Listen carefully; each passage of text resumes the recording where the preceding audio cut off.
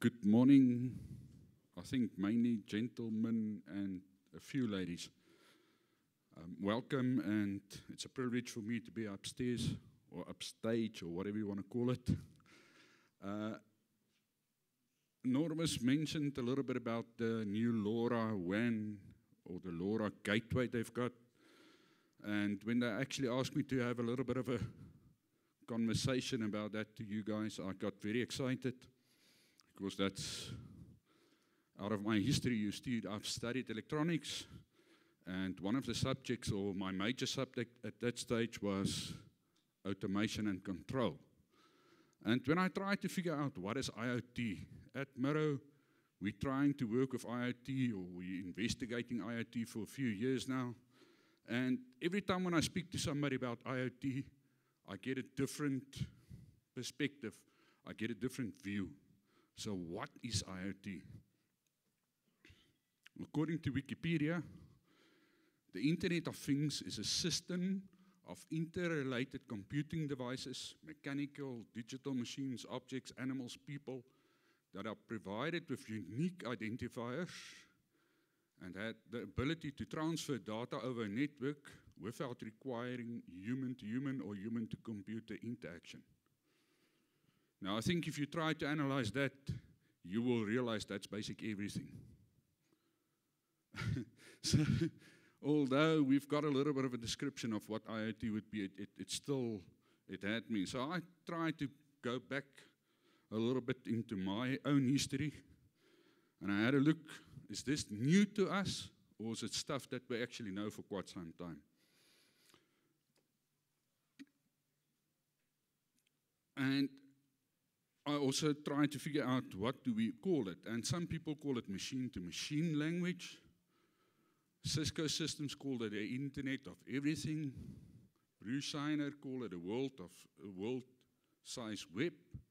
And in the Terminator movies, they were talking about Skynet. All right, so there's, there's, there's quite a, of, a bit of naming also for the Internet of Things.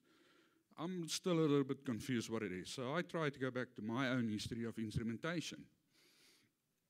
Um, uh, instrumentation and control engineer is a branch of engineering that studies the measurement and control of processes variables and the design and implementation of systems that incorporate them.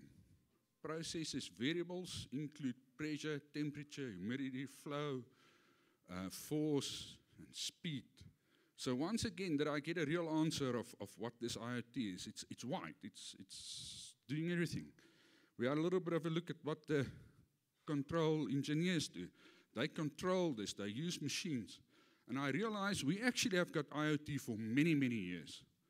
But we restricted ourselves when we were doing it as instrumentation and control to factories, to plants, and whatever. So now that we call it IoT, we basically just start thinking out of the box. We take this old concept of, of sensors, we measure something, we send it to a database, we work with this database, we take decisions. Either we go back to our sensors or attenuators and we make specific decisions and we do something. So let's try and have a look. Where can we use this Internet of Things? And I came to the conclusion that can a sensor measure it? What is it? Anything. Can a, an actuator respond to it? What's that it? Anything. Then we call it a thing. So now we've got the thing. We must still create the internet for it. Can a thing be connected to the internet, gateway, via a local network? Can a thing save the measurements on the cloud? Or can you analyze and respond to the measurements? And if your answer is yes and yes and yes for those three, then you've got the Internet of Things. How wide is that? Very wide.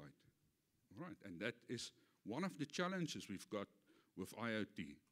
At the moment, there's not a rules, a lot of rules already defined.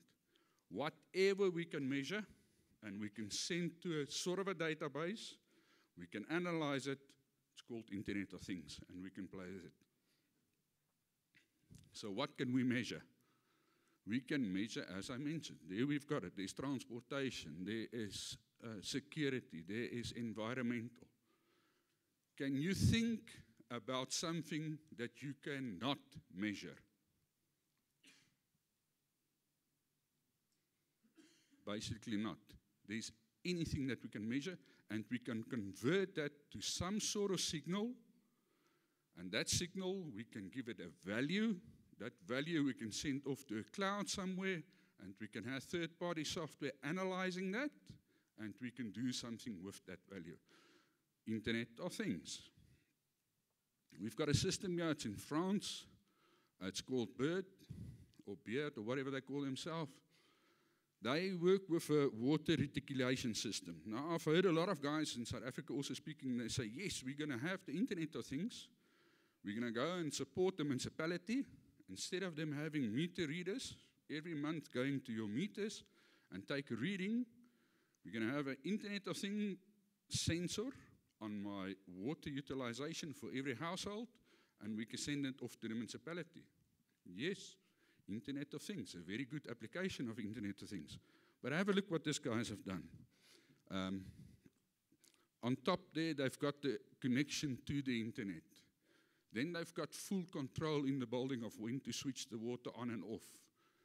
They are measuring the pressure on the water systems in the pipes so they can detect leaks at any time. They are managing the sewage systems and everything. So, what's the limitation? Your imagination is the limitation. If you can measure it, if the sensor can convert it to some sort of signal that you can take somewhere else, you can analyze it, you can use it.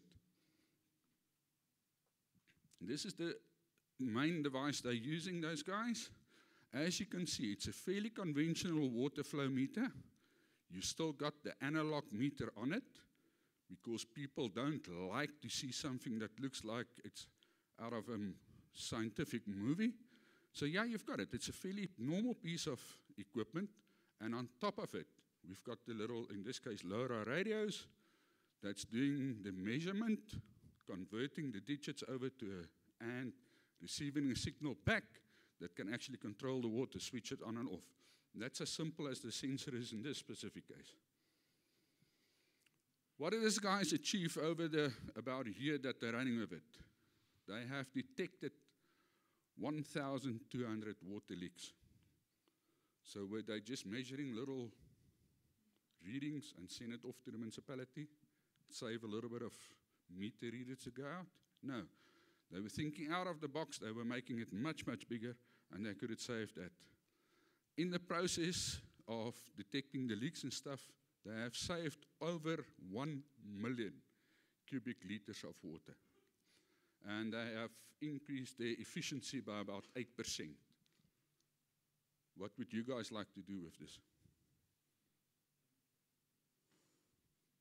What's your limitation? Nothing. All right, that's how the system basically works. We will have the sensors coming in on the left-hand side. So we've got sensors. The sensors will feed to a gateway, and that's where MikroTik is coming into the picture. They feed to the gateway. The technology, and we'll discuss technology now, there's various technologies coming from the sensor to the gateway.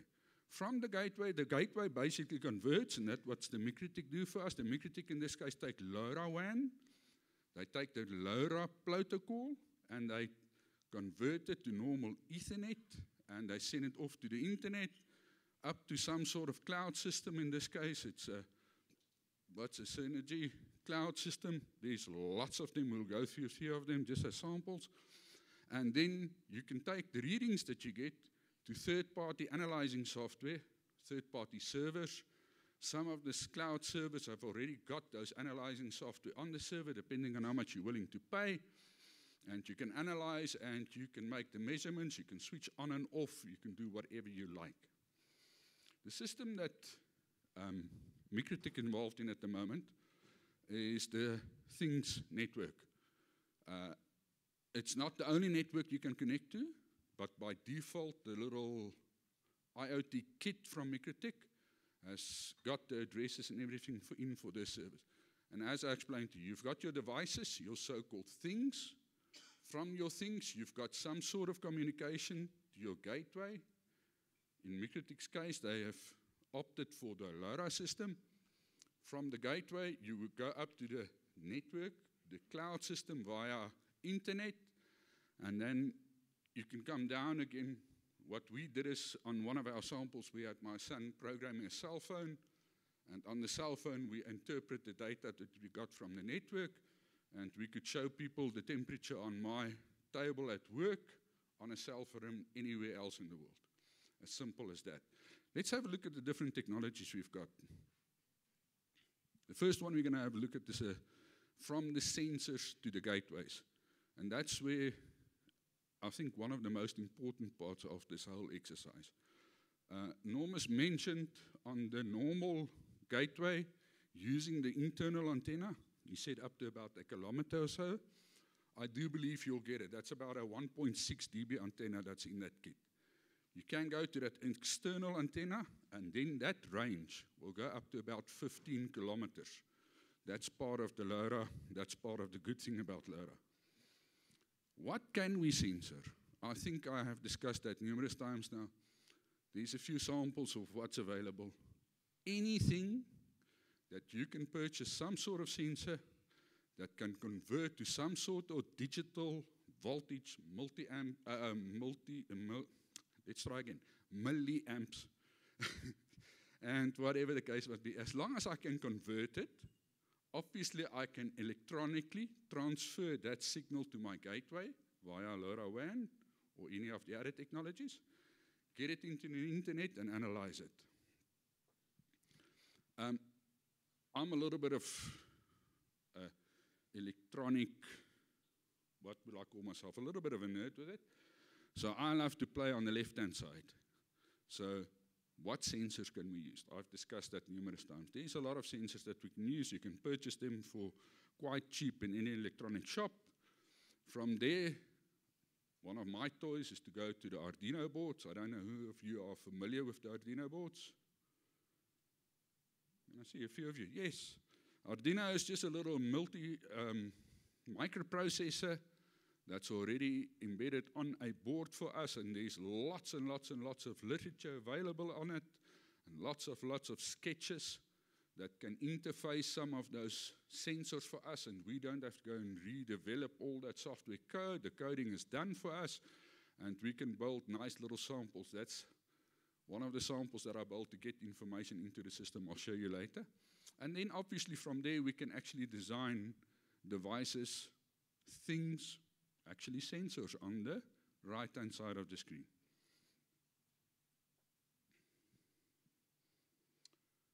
If we do that connection that I was talking about from the thing to the gateway,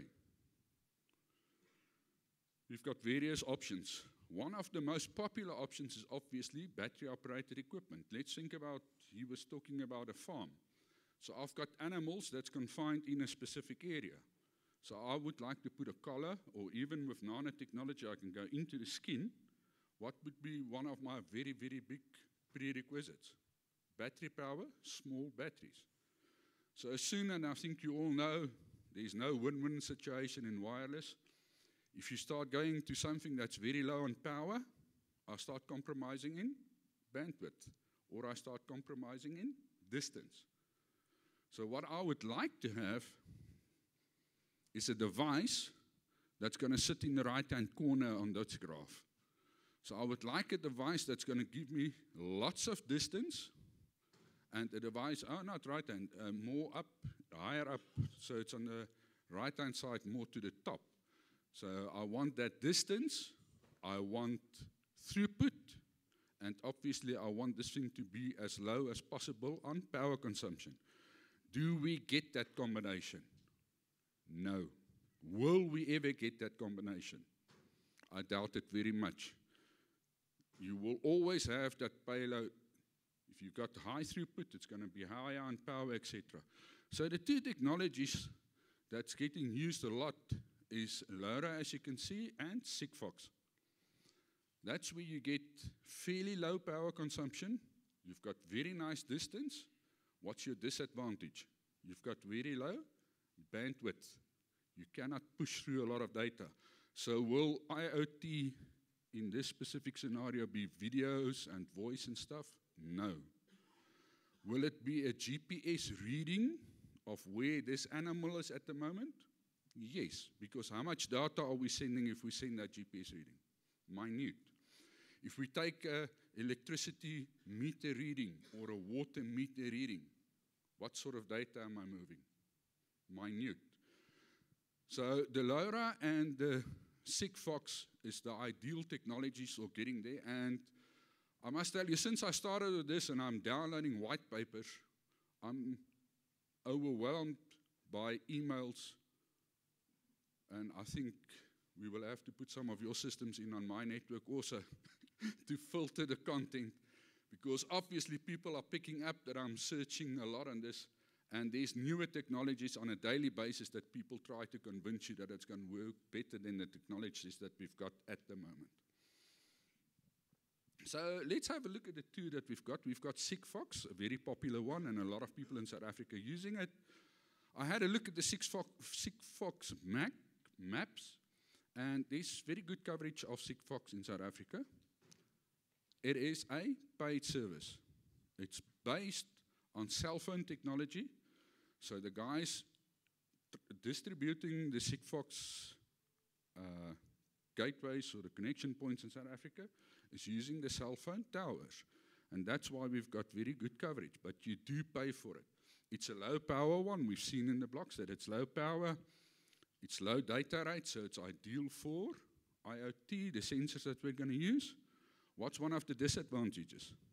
If I'm in an area where there is no Sigfox available, can I go and put my own gateway on? No. It's supplied by the service provider.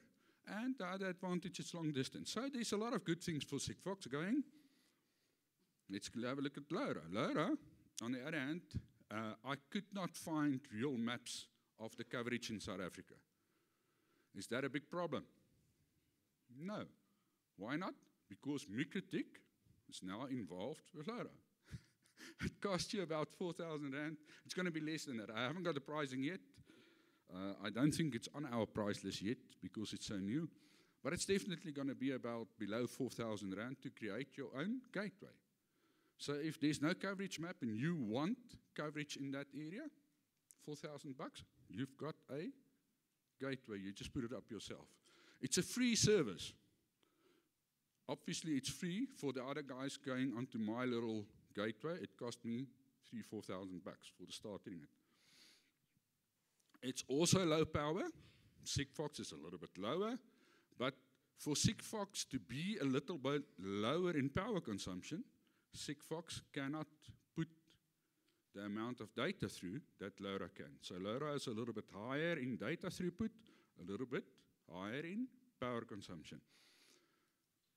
You can set up and manage your own network. We've discussed that already, and it's also long distance. You'll see you get approximately the same distances out of LoRa and Sigfox. Let's have a look at the second portion. This is where we got the gateway, and we want to push the information through to the network.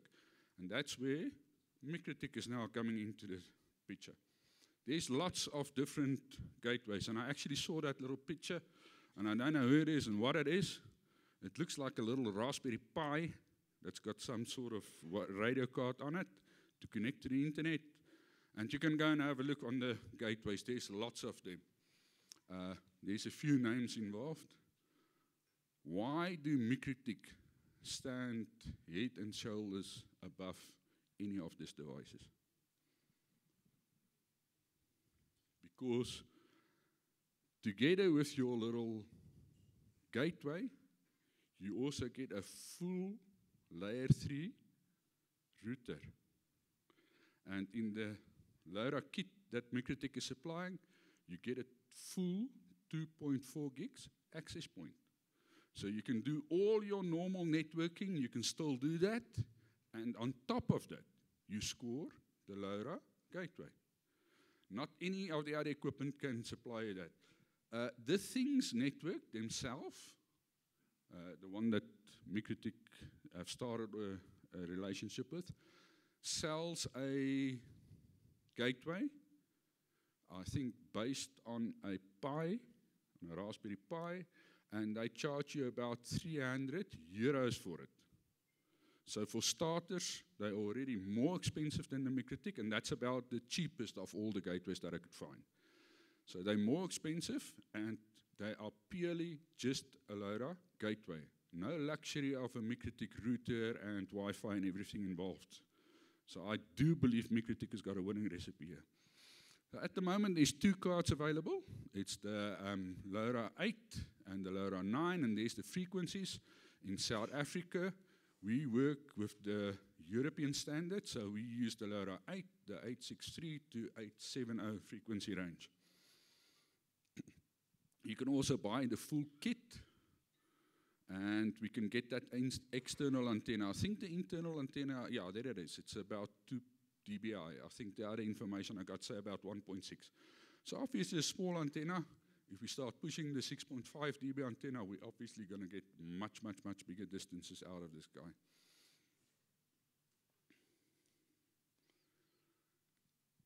Yes, a little bit of a map that I could find at this stage with LoRa on it. And as you can see, the numbers of official devices is still very, very low. Now, I don't know if one of the MikroTik guys are still in the office. If you supply me with the correct antenna and the sample kit, I'm willing to add two new boxes for you in the Pretoria area. One at my house and one at the MiRO offices so that we can expand this network. I do believe there's lots and lots more. This is only the networks that's officially um, registered via the Things network. All right, let's have a look a little bit at the networks that's available. Is there only one network available? Is it only the Things network? No, there's a lot of them also. And all of them give you different services, different pricing, different whatever. Uh, to give you some sort of idea of the projections, the estimations, in what was it, 2012. Am I reading my screen correct? 2012, they said we've got a human population of about 7.1 billion. At that stage, we already have got about 7.5 things that we can monitor. And as you can see, that graph is just going up. So by 2020, at the moment, we talk about 50 billion things that people would like to monitor. Uh, I do believe that number is even going to go up faster than what we might project because what can I monitor? I can monitor absolutely everything. In my training classes with MikroTik, I always jokingly say, what about a little fridge where you've got your egg holder monitoring how many eggs is in the fridge and by the time you get below a certain threshold, your fridge actually contact Woolies and say, Woolies, this and this address, my eggs is finished, bring. Possible or not? Internet of Things, very possible. Is it going to happen? It's already happening. So, what is going to block you to get more and more things? It's your imagination. A few of the service that's available Amazon, they charge you per million messages. So, would you think a million messages is a lot? Not really. If you think about this, measuring a temperature, take a reading about every like 15 seconds or maybe 20 seconds or even a little bit later, you're very quickly going to run into millions of messages and it's going to cost you. Microsoft Azure, they give you about 8,000 messages per day for free, the rest you must pay. IBM Watson IoT platform, 100 megs, so they measure it in, not in messages, but in the amount of data that's flowing. And then we get the cheaper ones, ThingSpeak. The beauty about ThingSpeak is it's got math labs already incorporated on your first server. So instead of moving to a third server or a different device to do your analyzing for you, ThingSpeak have already got MATLAB built in, and you can do a hell of a lot of analyzing and making decisions in the software already. Things work It's very close to the Things Network, but they specialize in industrial applications, so you can go that way. And then the one that MikroTik looking at at the moment is the Things Network. It's a free network at the moment, and it's specific LoRaWAN network, fitting very well into the picture of MikroTik. There's some others also available, big ones, cloud or Google Cloud Platform, also charging you. And look at that sort of amounts. That's the only one where I could get a amount uh, already specified, $1,758 per month. So you can see that they're actually hitting you quite a bit for data running around, the bigger guys.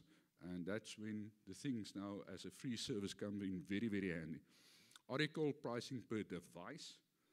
So they don't worry how many data you push. For everything you register with them, for that thing you're going to pay a certain amount. And then there's obviously lots and lots and lots more of them. At MikroTik, they have decided for starters they're going to work with the Things Network.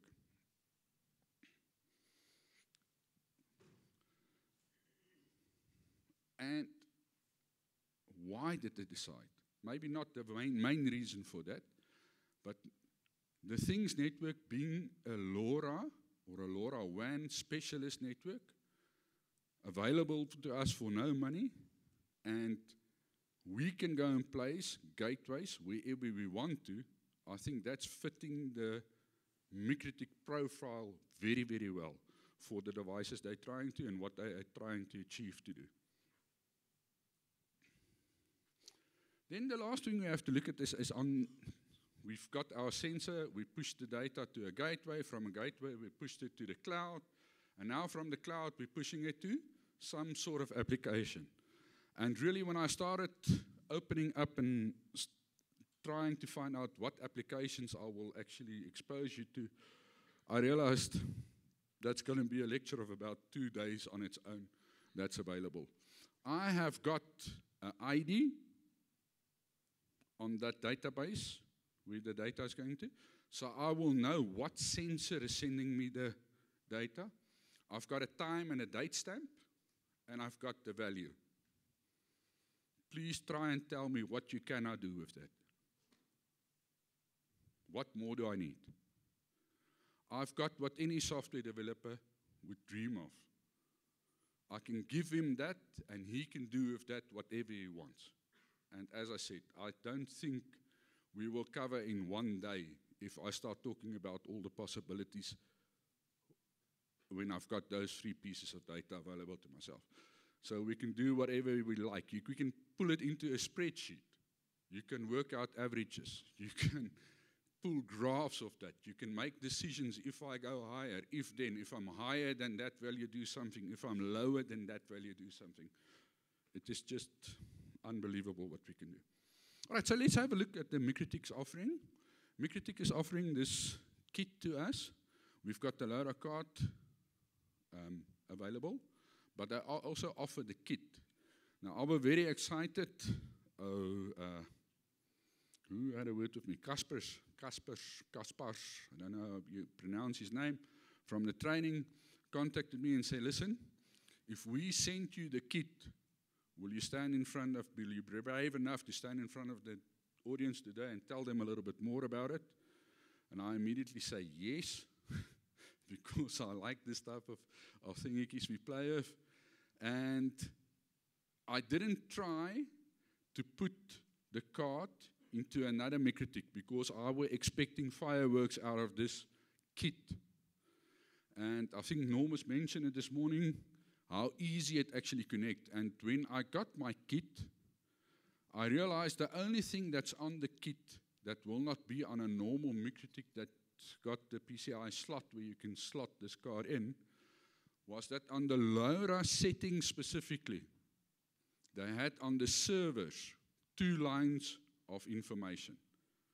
They gave the US TTN site the URL of the TTN, and they called it TTN US, and they opened up the ports, and they had TTN Europe, UE, and the URL and the two ports that we needed.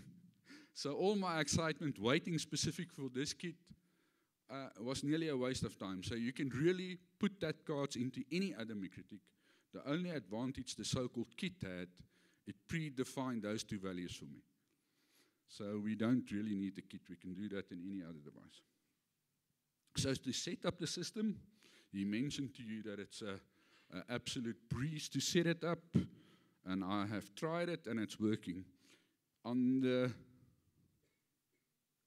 Winbox, on the left-hand side, in the tabs on the left-hand side, you will see there's a new entry that's called LoRa. I didn't have a look yesterday if it's on all the stuff or only if there's a LoRa card plugged in. It might also be that you'll have to download it as in the applications, that you must download that specific LoRa kit for it, but it's available. You then go to the servers, and as you can see, there's the, the, the LoRa kit's advantage. They've already telling you that TTN US and TTN UE, and they give you the website and the two ports that open. So if you haven't got that in your own MikroTik, that's what they supply in this one, so just enter it and you've got it. You then go and activate a device. So when you activate the device, it will give you that device ID, and that's the device ID you're going to need to activate the TTN portal that he talked about. Next step is we'll go to TTN itself, the Things Network, you register for an account. You, as soon as you've registered your account, free of charge, you go to gateways. In the gateways, you register that specific gateway. So the gateway get registered with the gateway ID that was available in the MikroTik. So you add those values in, you choose the rest as on my screen. I think the important one is the um, protocol that we're going to use. And I haven't got my glasses on, so I'll have to walk here. is that uh, for using the le legacy packet forwarder, that's fairly important that you must select that. Once you've selected that, your MikroTik is set up to speak to the gateway. You can then also, if you want to map it, and that's what I said. I think the information I showed you a while ago with all the maps is not accurate because a lot of people will probably not map it, but you can map it. You can put your coordinates in, and then the Things Network will show your gateway on that specific place. And if you make it public, other people can actually, via your gateway, go into the Things Network. This took about three or four minutes to set up. And if you go back to the Things network, you will now see that your gateway is connected. As simple as that. That really was, I think, less than a five minute exercise. So I'm connected now. The next thing I have to do is I have to get some sort of sensor. And that's where my little Arduinos come in again. Uh, for those of you who know, maybe the Arduino board, the Arduino board is sitting below that little reddish board. The reddish board is a Dragino LoRa kit that you can purchase. And that little green PC board on the red board is actually the physical LoRa WAN wireless card. So that's how small it is. Plugged into the Arduino board. On, in the front, I've got, I think it's a DHT11 humidity and temperature sensor. I got them running, downloaded the software from GitHub on the internet, downloaded it into my Arduino board, and voila, on the right hand side, that's the result of this whole exercise. I get a reading on the TTN network that tells me my humidity at the moment is this, and my temperature is whatever it be. Can it be easier? Not really. All right. So, in short, that is what I can tell you about Internet of Things, it's old technology. It's coming from years, but we boxed it in to industrial sites, to big control systems, etc. And what we're busy to do at the moment, we make this available to everybody. The whole idea is that if you build a little sensor like this, it must come down to a few dollars so that you can implement in your own household 10, 20, 30, 50 sensors. And what's your limitation? Your imagination. Thank you very much.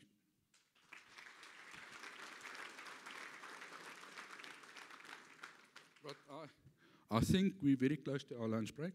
What's the time? Yes, I made it to four minutes. All right, our lunch break's 5 o'clock. I'll be around if you want to ask some questions. Uh, but go and enjoy the lunch. And I think the next speaker is up in an hour and a half. All right. Thank you, guys.